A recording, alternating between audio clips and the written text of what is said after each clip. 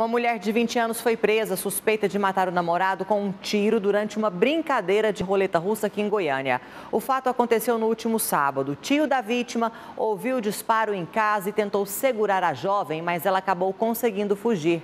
A suspeita foi encontrada pouco depois ao entrar no terminal Novo Mundo. A polícia militar localizou e apreendeu um revólver calibre 38 na casa em que o corpo do rapaz foi encontrado.